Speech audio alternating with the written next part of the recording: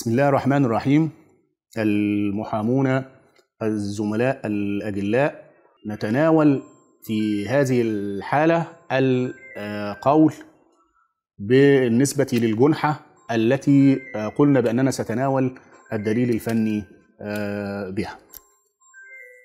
في جنح الضرب بالطبع وهي الأكثر شيوعا بالنسبة للجنح في التعامل بالنسبة لنا كمحا... كمحامين طبعا أمام المحاكم وخاصة بالطبع جيل المحامين الشبان حينما يعرض عليه الدليل الفني ينظر إليه من حيث مدى أخذ المحكمة بالإصابات الموجودة أو أخذ المحكمة الجزئية طبعا محكمة الجنح الجزئية بالدليل الكيدية والتلفيق أو وجود الشاهد أو عدم وجوده أو أو.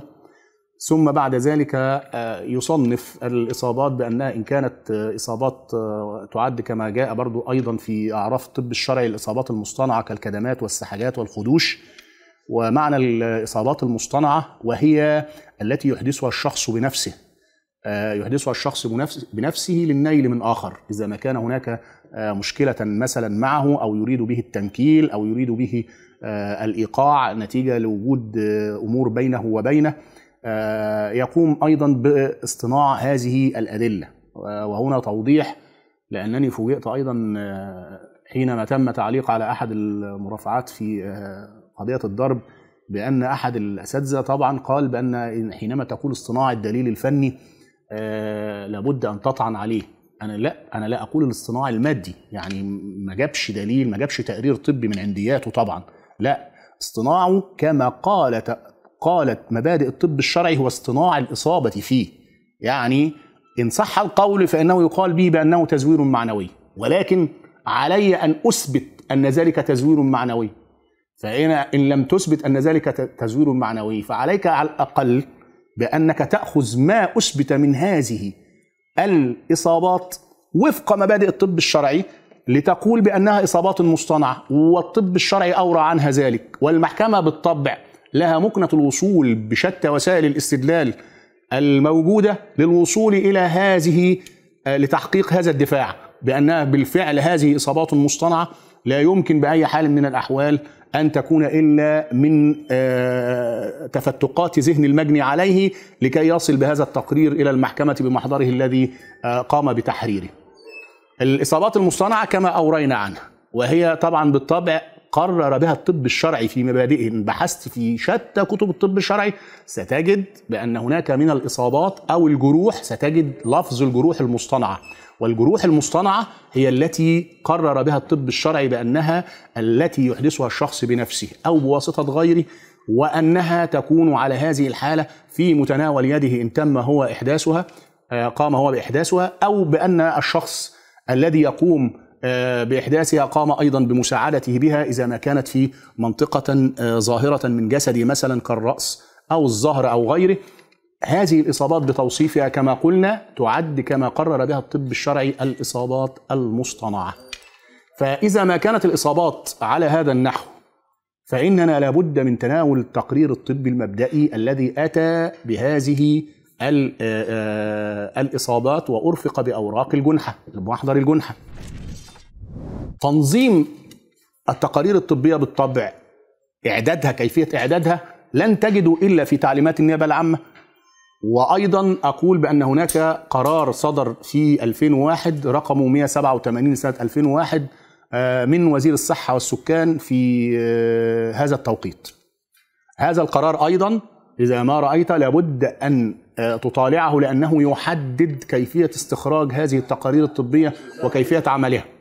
فإن كان هناك عمل لهذه التقارير الطبية خرج عن إطار المألوف ولم يتم وفقا للتعليمات ووفقا لما ورد بهذا القرار ففي هذه الحالة تستطيع أن تدفع بمخالفة التقرير الطبي الأصول الفنية أيضا المطلوبة في إعداد مثل هذه التقارير وفقا لقرار وزير الصحة والسكان ووفقا لتعليمات النيابة العامة وطالع تعليمات النيابة العامة في هذا الأمر بالنسبة للإعداد.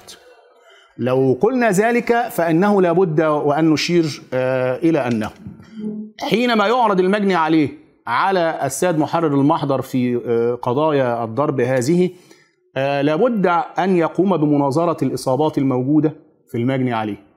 يعني حضر أمامه وهو مصاب ويريد أن يقوم بتحرير محضر يتهم فيه فلان بالتعدي عليه وإحداث الإصابات المروي عنها هذه الإصابات اولا لابد أن يقوم السيد محرر المحضر بمناظرتها وإثباتها في المحضر. ثم يقوم بإحالته هو إلى المستشفى المركزي الخاص به.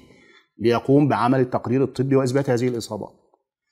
طيب اذا لو تم ذلك ورجع المجني عليه بصحبة من أرسله السيد محرر المحضر آه، لتحرير هذا ال- التقرير. وثبت أن هناك إصابات لم يروي بها المجني عليه.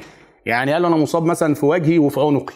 ثم جاء بعد ذلك ورد بأن هناك إصابات بالكتف في تقرير الطب الشرعي. لابد أن يقوم بسؤاله عنها.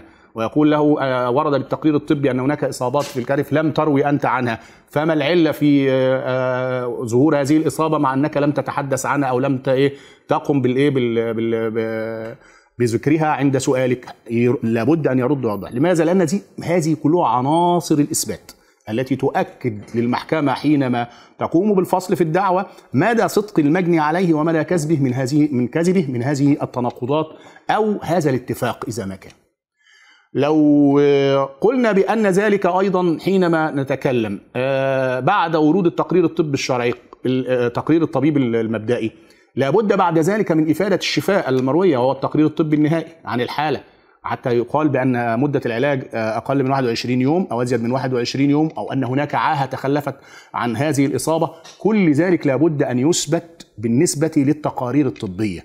وإن نقصت هذه الإجراءات أو خلا منها المحضر على الدفاع أن يستغل هذه السقطات للقول آه، للتعويل عليها في آه، هذه ال- الإصابات آه، مدى صحتها من عدم أو مدى تناقضها مع واقع الدعوة من عدم أو مدى صدق المجني عليه في حديثه عنها من عدم كل ذلك ستستطيع انت كدفاع أن تتناوله أمام المحكمة للتدليل على صحة دفاعك في هذا المقام.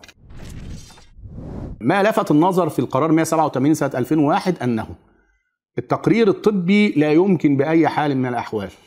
إعطاؤه إلا لصاحب الشأن اي للمجني عليه أو بتوكيل شوف بقى توكيل راس توكيل عام منه في ذلك.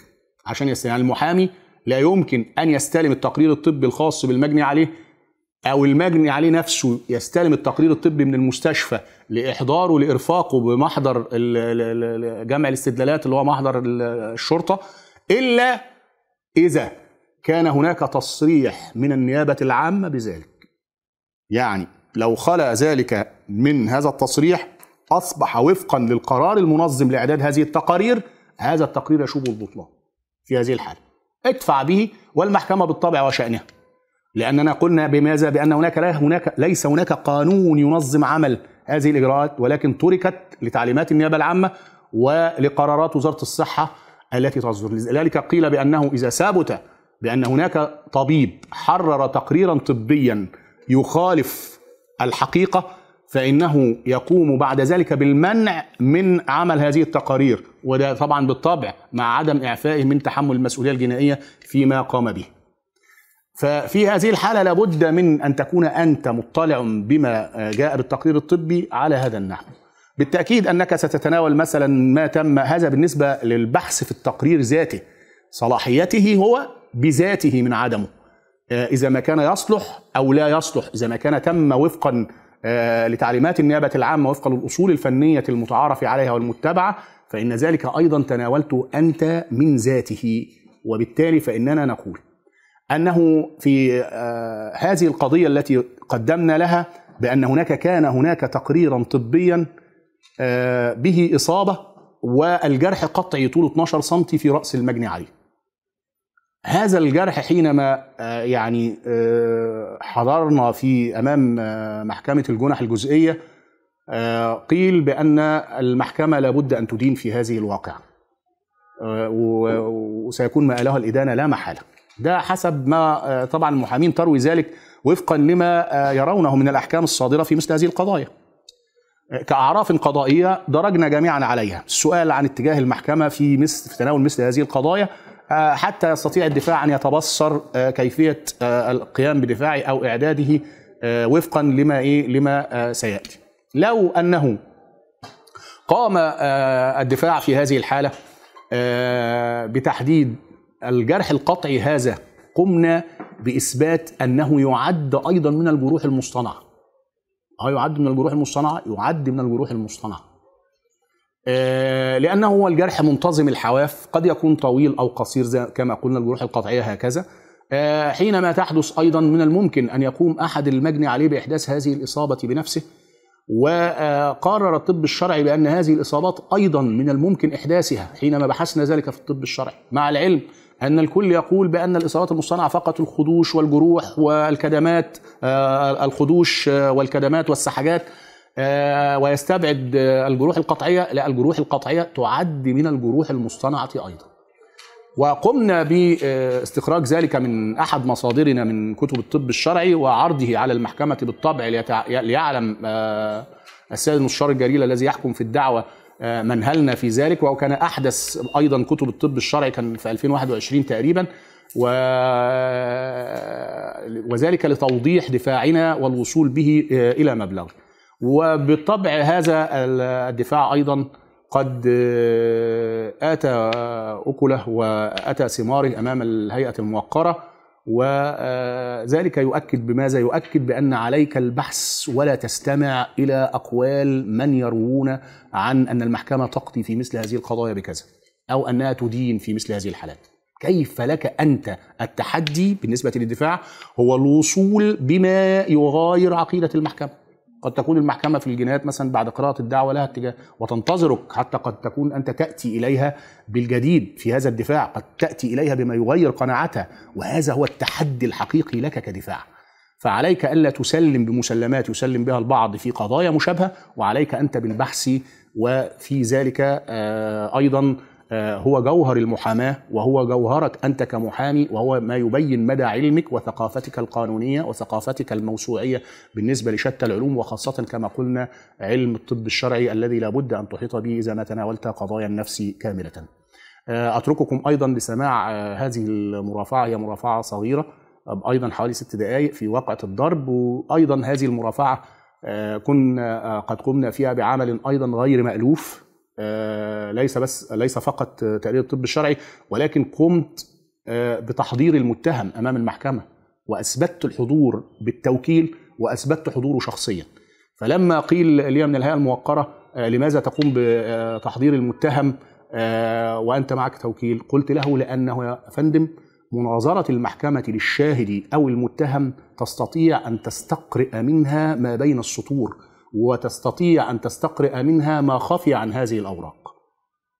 فطبعا الأستاذ المستشار قال لي تفضل وقمت بالمرافعة على هذا الأساس ونظر الرجل وتكلم الرجل أمامه وأوضح ما فيه وهو راجل كان موظف محترم جدا فالمحكمة حينما رأته أيضا قد يكون ذلك أيضا ساهم في قناعتها وبالتالي فحتى حينما سئلنا لماذا لو اخذ حكم هياخد حكم قلنا أن أخذ الحكم الحكم بالطبع مشمول بالكفالة. سيقوم بعمل الاستئناف ودفع الكفالة ولم نخسر شيئا.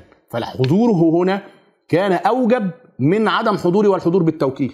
وحضوره هو الذي ساعد في هذه الحالة أيضا بالنسبة حينما نظرته المحكمة بأن هذا الرجل لا يمكن أن يصدر عنه مثل هذا الفعل مع بالطبع التدليل على الأسس الأخرى والأسس القوي القوية بالنسبة للدعوة وهو عناصر الدفاع المعتبرة قانونا بالنسبة لتناول التقرير وإثبات أن الجرح القطعي بطوله المروي عنه 12 سم في رأس المجني عليه هذا الجرح يعد جرحا مصطنعا. وليس جرحا لا يحدثه المتهم بالضرورة بالمتهم وفقا لما هو كان غالب الثبوت في ذهن الكثيرين.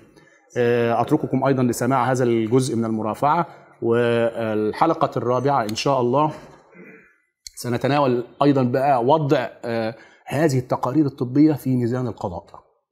نقوم بالحديث عنها كيف يتناول القضاء وكيف يتناول الدفاع أمام القضاء هذه التقارير الطبية من الناحية القانونية وما سلطان المحكمة عليها حتى يكون قد على القدر طبعا قد قمنا بالإلمام بهذا الأمر. وكما قدمت بالطبع أن ذلك لابد أن يكون المحامي فيه محاميا مطلعا موسوعيا قارئا آه، قلنا كما قلنا وتعلمنا من أساتذتنا الأجلاء القراءة في شتى العلوم لأن ذلك هو الذي يصقلك وهو الذي قد يمدك بالدليل الذي من الممكن أن تستخرجه من أي مصدر من مصادر العلم ويقنع المحكمة بالطبع لأن آه، كما أورينا آه، وفي المجال الجنائي يقال بأنه من أي مصدر يستقي منه القاضي الدليل. له أن يستقي له أن يطلب هو ويسعى لتحقيق الدليل. حتى لو تقاعس الدفاع عن السعي له لأن تحقيق الأدلة هو واجب المحكمة بالطبع في المقام الأول والأخير. آه، آه، إلى هنا أشكر آه، لكم حسن الاستماع بالطبع وأترككم لسماع الجزء من المرافعة في جنحة الضرب هذه. وإلى أن ألتقيكم إن شاء الله لاستكمال هذه السلسلة من سلسلة الأدلة. ألتقيكم على خير الله وبركته وأشكر لكم حسن الاستماع.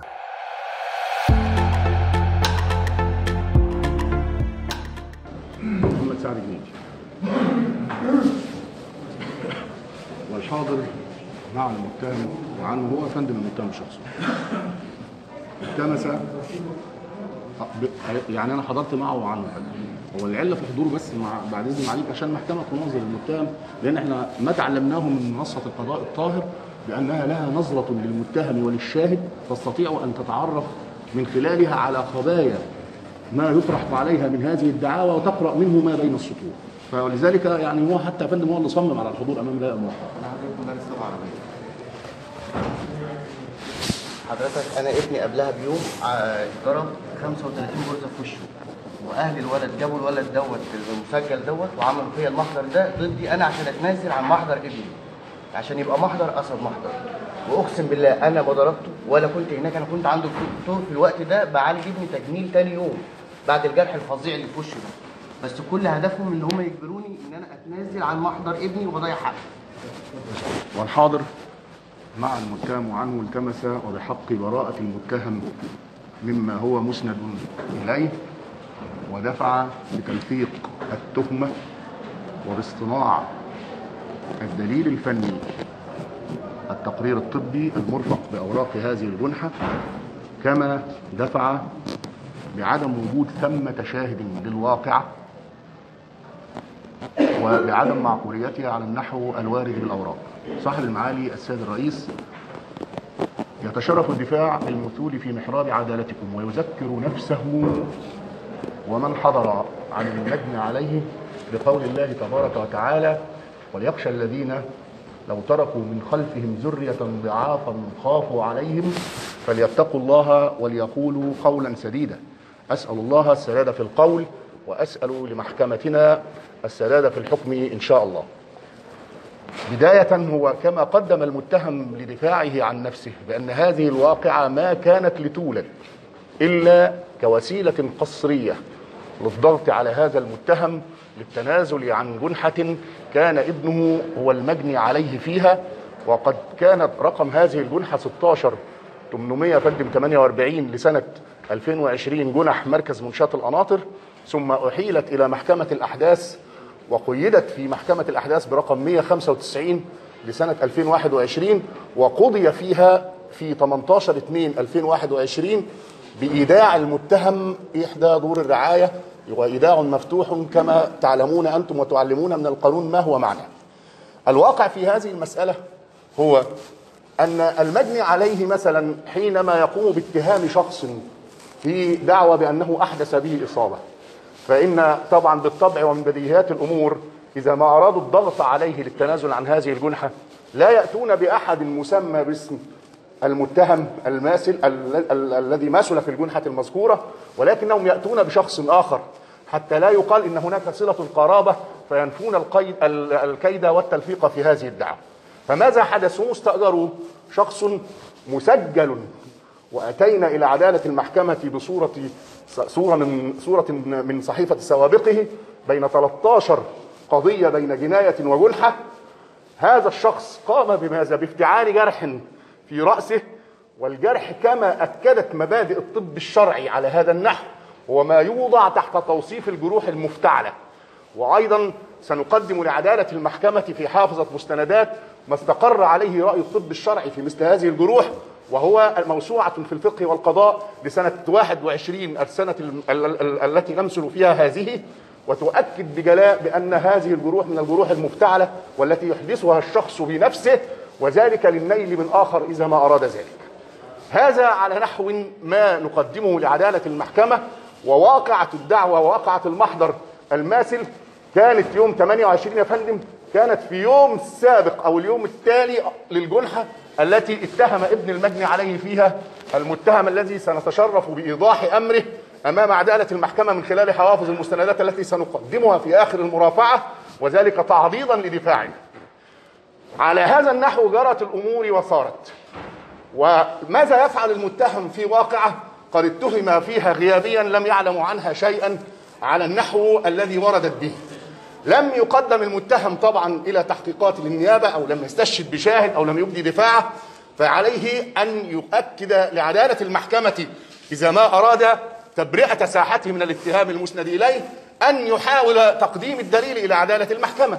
فكان هناك أربعة من الشهود العدول قد حضروا إلى مقر الشهر العقاري والتوثيق وأكدوا بأن هذا المتهم على قرابة من ال- ال- ال- المجني عليه المجني عليه الذي المتهم في الجنحة السابقة لابنه وأن هذا الرجل هو الذي قام بافتعال هذه الواقعة وأنهم الأربعة كانوا مع المتهم الماثل في اليوم في هذا اليوم الذي ادعى فيه حدوث الواقعة من الساعة الخامسة إلى العاشرة مساء مع ابنه عند الطبيب المعالج وأقروا بذلك وكانت هذ- هذه هذا الإقرار يا فندم يعد بمثابة انتفاء واضح وصريح وشهادة أمام الله منهم.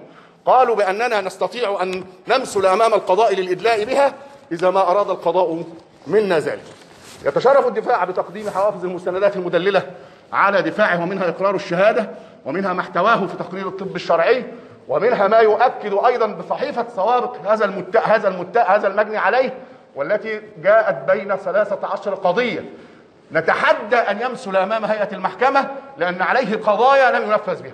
وواضح أيضا من خلال هذه الحوافظ وجود الجرح في رأس ابن المجني عليه والذي استغرق حوالي 13 13 غرزة يا فندم على النحو ده. آه، نلتمس يا فندم من عدالة براءة المتهم للاتهام المسند إليه ونشكر لعدالته بحسن الاستماع وفساحة الصدر شكرا جزيلا يا فندم